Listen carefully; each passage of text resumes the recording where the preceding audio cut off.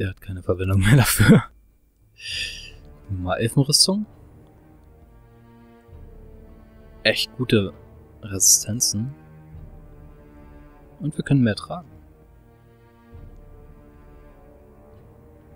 Und verbessern können wir die auch noch einmal.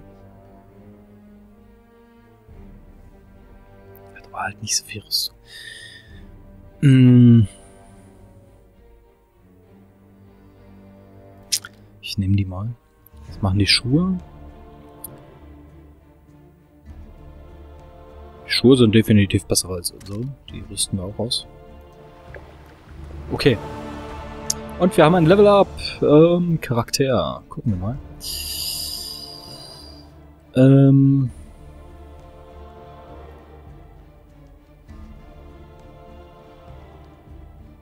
Hm, kann ich Pfeile zurückdenken? Das wäre natürlich auch absolut nicht dumm. Hm, was haben wir hier? Schaltet die Fähigkeit frei, Schläge aus allen Richtungen zu blocken.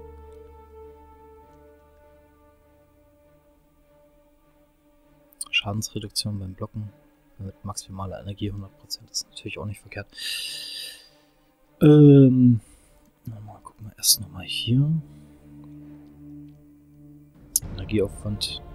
Blocken gegnerische Schläge. 25%. Schaltet die Fähigkeit Freischläge des Gegners zu kontern. Distanz beim Ausweichen 200% ist natürlich auch nicht verkehrt. Ähm, Position. Gerät erleidet beim... Ja, ist auch nicht verkehrt. Was haben wir denn sonst noch hier? Zeichen. Zeichenschaden plus 5. Stufe 2 des Artzeichen. Und Stufe 2 des Achsezeichens.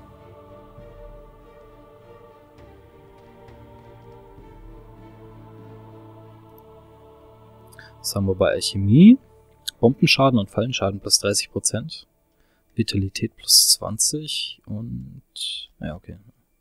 Vitalität plus 20 wäre eigentlich gar nicht verkehrt, ne?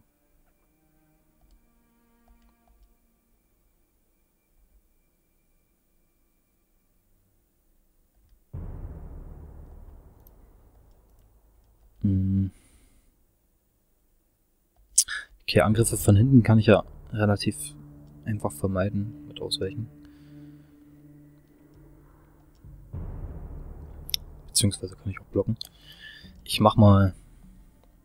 Hier. Uh, der nächste Rang Vitalität plus 100. Definitiv. Gut, jetzt gehen wir erstmal zu den Elfenruinen und reden mit Jorvit.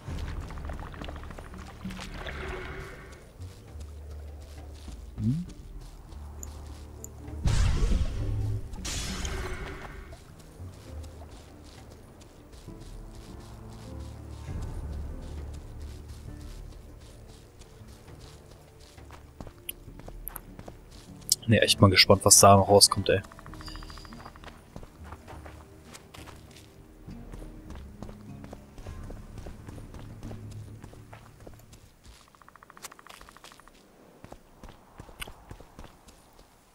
Hey, Jorvit. Nee, das ist nicht Jorvit Jorvit. wartet auf dich, Deune. Hier ist er. Wo ist er? In Eddern. Er hat Triss zum Teleport gezwungen. Au verdammt! Eden Skoyatel werden für meine Dummheit blutig bezahlen müssen. Elias, Abteilung Abmarsch bereit machen. Sofort aufbrechen. Ähm, Es hat ein Pogrom in Flotsam gegeben. In den Gassen steht das Blut deiner Brüder. Deshalb brauche ich deine Hilfe. Du glaubst doch nicht, dass ich mit dir auf Menschenjagd gehe. Die Verantwortlichen sollen büßen. Aber nicht jetzt. Unser Ziel ist jetzt Obereddern. Warum Obereddern? Das Pontartal ist ein saftiger Happen, auf den sie sich wie die Hunde stürzen. Und die Skoyatel beißen am wildesten zu. Es ist unser Land. Seit ewigen Zeiten. Ich bin kein Bandit, Gwynblade, sondern Anführer einer Armee.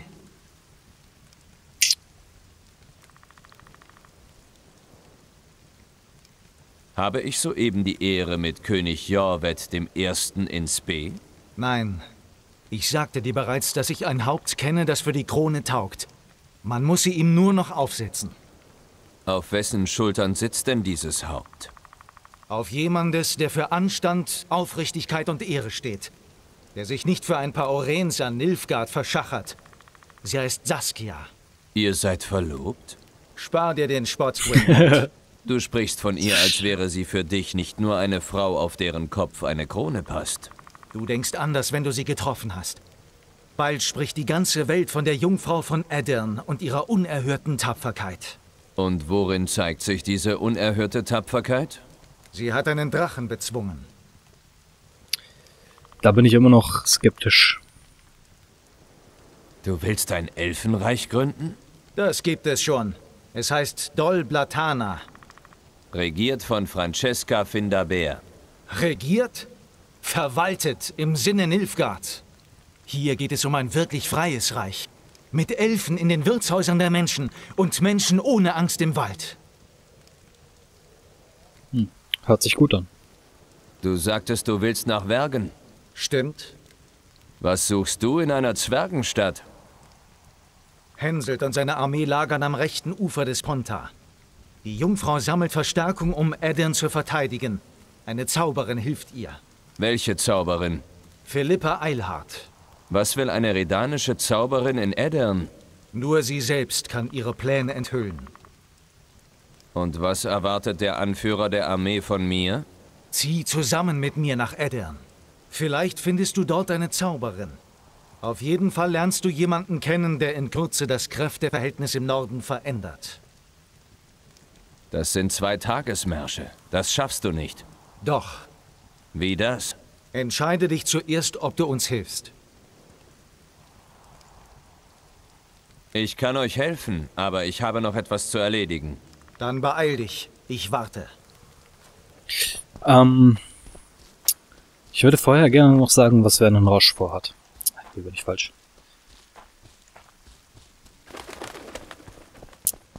Jo, Weil- wartet auf dich, Deune. Einerseits, äh, Triss wird sich ja gerne auf Hensels äh, Seite schlagen.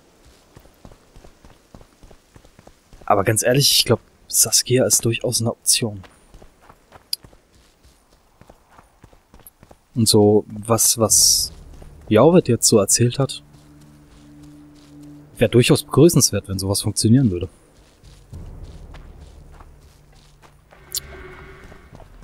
Deswegen bin ich doch der Meinung, man kann es auf jeden Fall in Erwägung ziehen. Ah, okay. Hm.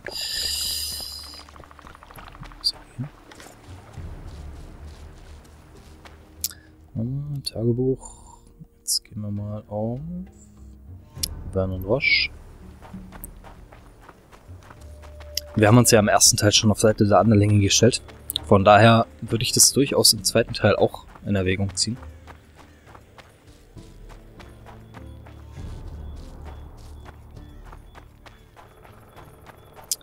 Wäre durchaus ähm, drüber nachzudenken.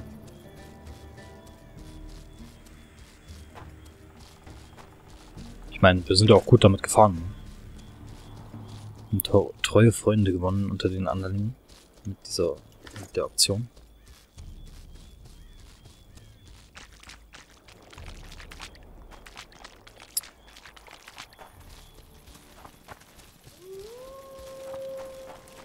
Gucken wir mal, was Roche zu sagen hat.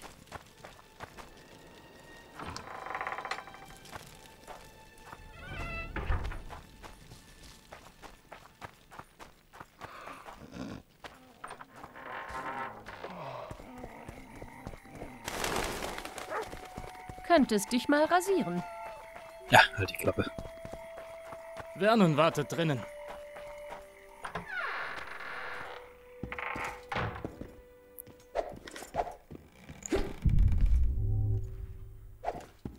Tag, Gerald.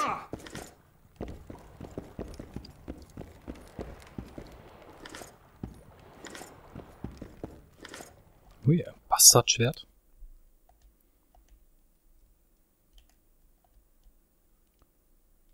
Zusatzwaffe. Stahlschwert. Ach, bis, ach nichts wert. Sonst noch verrostetes Stilett. Mhm.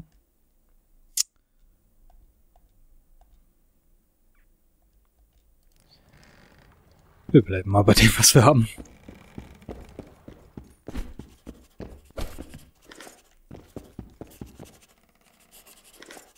Hm, auch noch ein bisschen Rüstung drin. Zum Beispiel eine solide, eine solide Lederhose. Ähm, nee, da ist unsere besser. Die leichte Lederjacke ist unsere auch besser. Okay.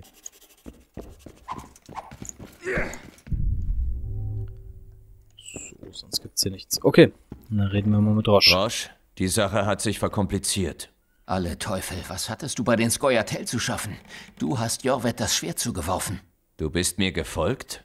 Für wen hältst du mich, Gerald? Ich hab doch meine Leute. Wes in diesem Fall. Jorvet weiß viel über den Königsmörder und sie stehen nicht mehr auf derselben Seite. Wir könnten zu ihm gelangen. Die einzige Reise, die ich mit Jorvet unternehme, führt zum Schafott auf dem Markt von Vysima. Der Königsmörder hat Triss gezwungen, sie beide nach Wergen in Eddern zu teleportieren. Verdammt, der verarscht uns. Na schön, wollen mal sehen, wer hier wen dran kriegt. Flotsam steht in Flammen. Wie konnte das passieren? Als West eine Verabredung mit Jorvet meldete, befahl ich Loredo, uns zu unterstützen. Sie sollten auf das Signal warten, aber diese Kasper von Armbrustschützen konnten die Pfoten nicht lang genug stillhalten. So viel zum Überraschungsmoment. Es war höllisch, wir sind kaum lebendig davongekommen. Viele Verwundete. Und Loredos Leute. Bald wusste die ganze Faktorei, dass da ein Dutzend Soldaten auf der Strecke geblieben war. Zwei Soldatenväter ließen darauf ihre Wut an einem Elfenmädchen aus. Und den Rest kennst du. Ich höre, du hast Neuigkeiten für mich? Loredo paktiert mit Kedwin. Der Kaufmann da bei ihm ist Hensels Agent. Unser edler Kommandant hat sich kaufen lassen und der Armee von Kedwin Unterstützung im Konfliktfall zugesagt. Und weiter? Ich greife mir diesen Spion und press ihn aus. Und Loredo ist des Todes. Roche, wir müssen nach Eddern. Nein, ich lauf nicht vorher aus. Vielleicht weiß der Spion was über die Königsmorde. Wird mich nicht wundern, wenn Henselt hinter all dem steckt. Hm. Er verliert wertvolle Zeit. Aber er ist auch gegengehänselt. Ist eigentlich auch nicht verkehrt. Das heißt, zwangsläufig ist er dann auch mehr oder weniger auf der Seite von Saskia, der Feind meines Feindes, ne? Mm, Wir sehen uns später. Verdammt, Aber- Gerald. Das ist doch kein Stelldichein, das man verschieben kann. tja, Pech. Ich gehe mit Jorvit. Vernon wartet drinnen.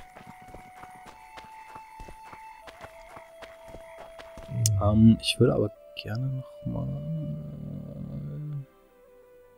Nee, Schöner. Tag heute.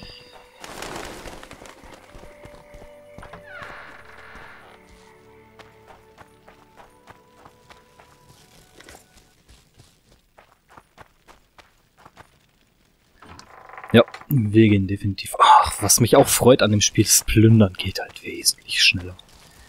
Hast du Das ist auch super. am Sack weiße Haare? Ja, zu Zöpfen geflochten.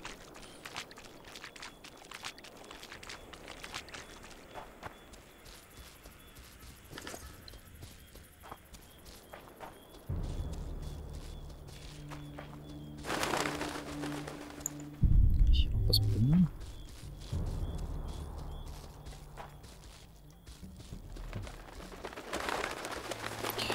Nee, wir gehen mit Jorvit. Ganz sicher. Der, dem seine Vision scheint mir doch etwas besser.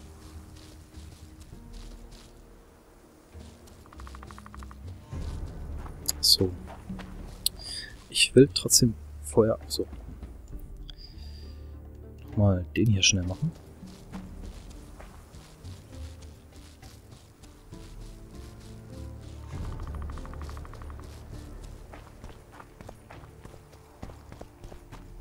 Meine, Roche hat mich zwar aus dem Kerker befreit, klar, er glaubt an meine Unschuld.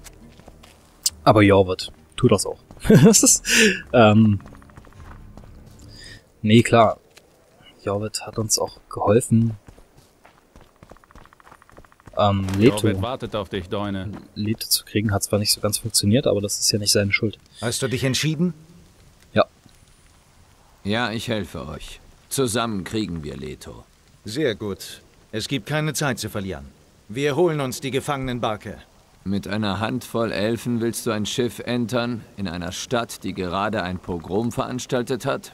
Ich habe mich geirrt. Du bist nicht anmaßend, sondern schlicht verrückt. Das hat meine Mutter auch gesagt.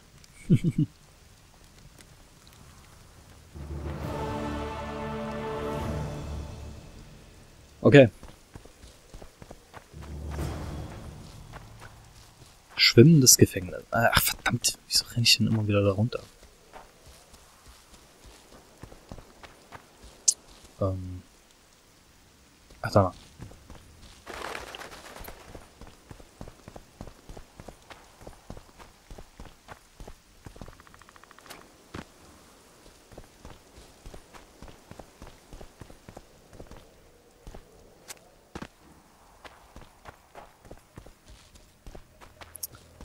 Würde aber gerne vorher nochmal in die Schenke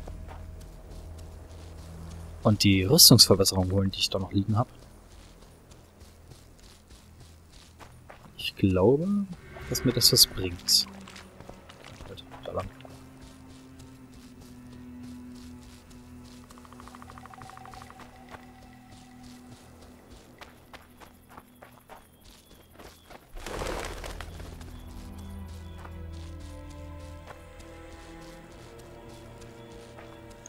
Hm.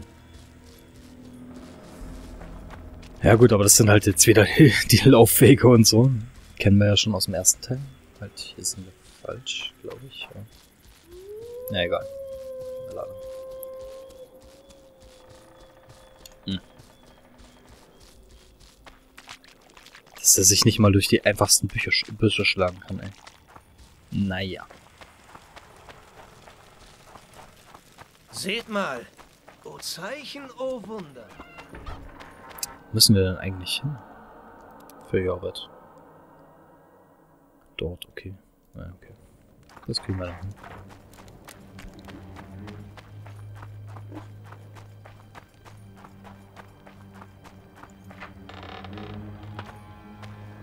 Ihr sollt diesen Höllenhund finden. Ist das klar? Jawohl! Wo warst denn du? Ich bin es nicht gewohnt, mich zu rechtfertigen, Kommandant. Jemand wollte mir ans Leder. Ich hatte schon auf dich getippt. Das war wohl nichts. Ich war nicht hier. Ich hab dich trotzdem im Auge, Hexer. Ja, warte mal, du kriegst noch den Fett weg.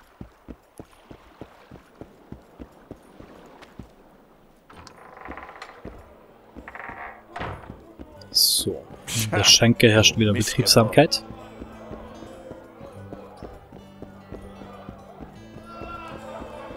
Nö, viele laute und lustige Stimmen, aber keine Ahnung, wo die herkommen. So, pass. Ah, nee, wollte ich gar nicht. Ähm.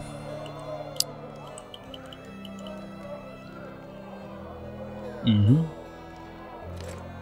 Doch, das ist gut. Ähm. Gut. Ablegen dann mal das ganze Zeug.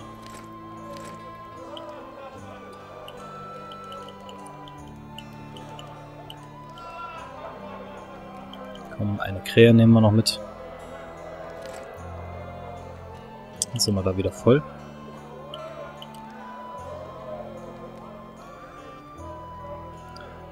Hm.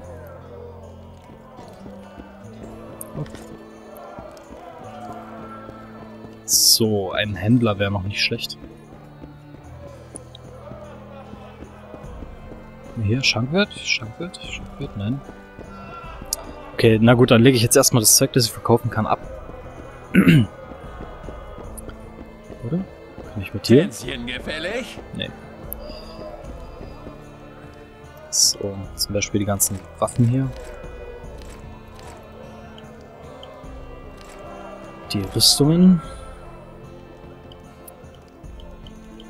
Und den Plunder. Inkrustierter Stahlring. Nippes. okay, dann werde ich mal die Rüstungsverbesserung. Gut.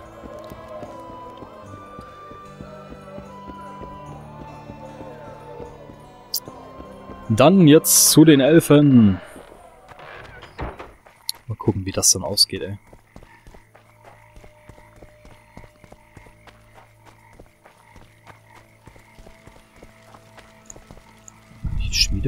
Plündern? Nee.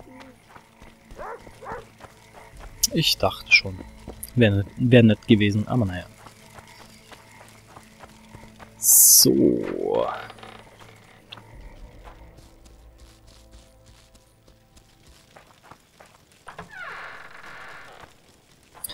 Ach, jetzt geht's ans Eingemachte. Das heißt, ich werde nochmal eben speichern.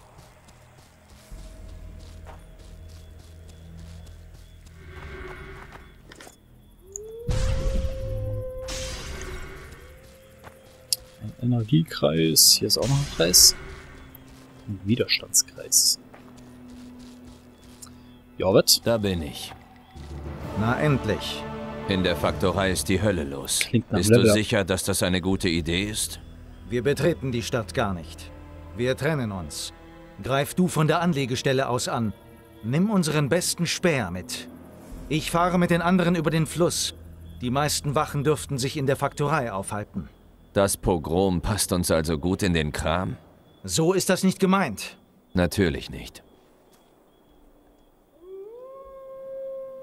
mh, An der Anlegestelle kann es brenzlig werden. Dachtest du, wir machen einen Spaziergang? Darum geht es nicht. Greifen wir besser zu einer List, wie bei Leto. Am Anleger gibt es keine Unterstützung. Aber dafür halten uns die Wächter nicht auf und auf der Barke haben wir nur eine Handvoll gegen uns. Gut, die sind tot, bevor sie ihre Schwerter ziehen können. Dann geben wir den anderen ein Signal. Diesmal entkommt uns keiner. Einverstanden. So machen wir es. Skoyatel! Evelien! Frihet! Frihet! Mir nach! okay, bring Jorvet zur Gefängnisbarke. Jorvet, nicht Jorvet. Jo, machen wir. Da sind wir. Wir müssen durchs Tor. Nichts leichter als das. Wie? Ach, nichts, Deune. Für mich. Jo, machen wir. Ähm, halt. So viel drehen wollte ich gar nicht. Ach Gott. Das geht immer so langsam, ey. Die Kapuze ist cool.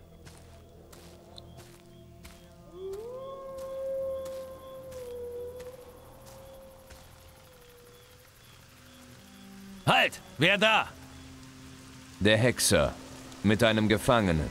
Und was für einem? Loredo wird sich vor Freude bepinkeln.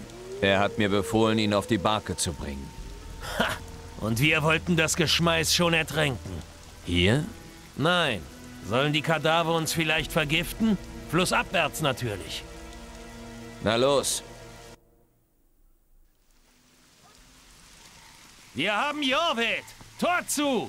Kein Mauseschwanz soll mehr durchkommen. Weißt du, was komisch ist, Winblade? Na? Ich habe den Dorne das Leben zur Hölle gemacht, war aber noch nie hier. Wie gefällt dir die andere Seite der Medaille? Die sehen mich auch zum ersten Mal. Sehen nicht aus, als würde ihr Gewissen sie plagen. Sollte es das denn? Wohl nicht. Sie wollen mich sterben sehen. Ich Hexer will sie sterben Held. sehen. So ist das eben auf dieser Welt. Die andere Seite der Medaille haben sich die Philosophen in Ochsenfurt ausgedacht. Die kennen Orte wie Flotsam nicht. Heute stirbt keiner, Jorvet. Abgesehen. Halt! Wohin willst du mit dem Elf? Das ist Jorvet. Loredo hat befohlen, ihn auf die Gefängnisbarke zu bringen. Meiner treu. Jorvit höchst selbst. Diese Wanze hat meinen Bruder auf dem Gewissen. Ich würde mich gern mal eben mit ihm unterhalten. Dafür ist keine Zeit. Ach, und wieso nicht? Mein Befehl lautet, ihn auf die Barke zu bringen. Und du bist wer? Ein Elfenliebchen? Laut Loredo darf niemand mich aufhalten.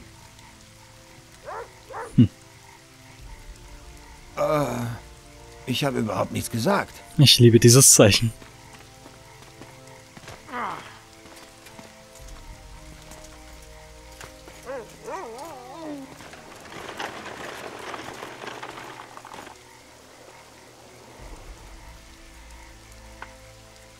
Dieser miese kleine Däune hier. Solche töte ich am liebsten. Das ist wie Unkraut jäten. Ein schlichtes Danke hätte auch getan. Du bist doch mein Held.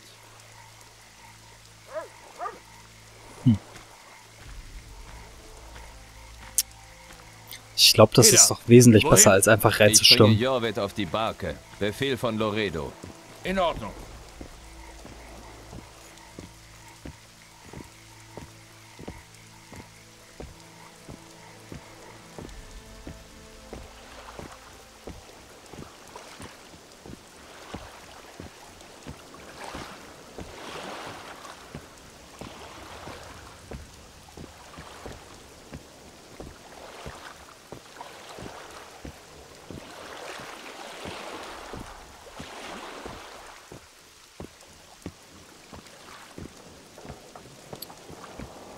So. Jetzt müssen wir bloß noch das Schiff säubern.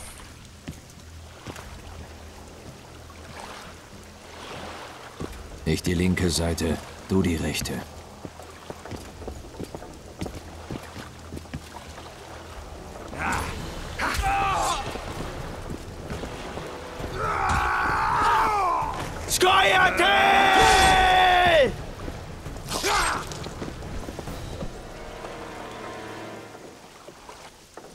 Übles Gemetzel. Aua.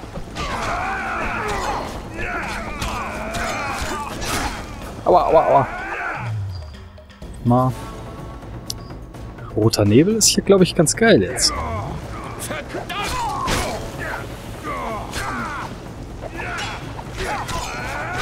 Langsam traue ich dir. Ganz schön leichtfertig, Elf.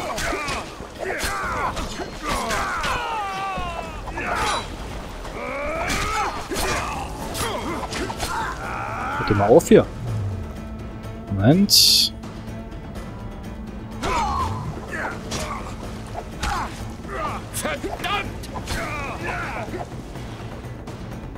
Halt, wollte ich doch gar nicht.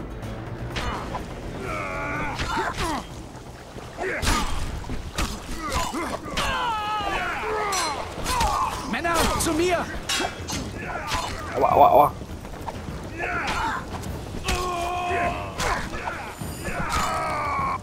Gut.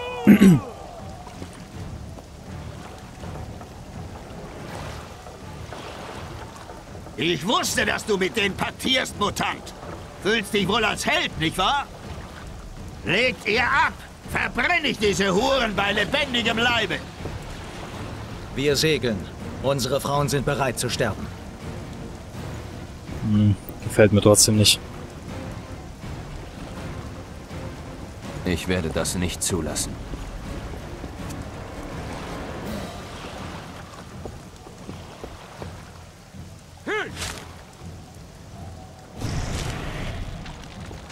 Bloede Däune! Ich komm nach. Mach dir keine Sorgen um mich.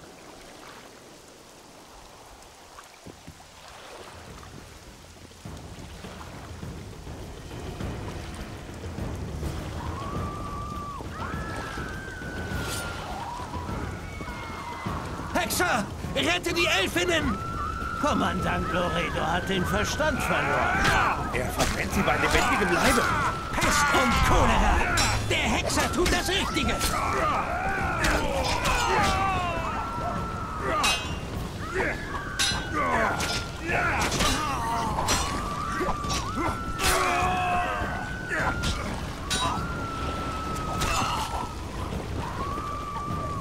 Warum hat der so grün aufgeleuchtet hier? So. Ja.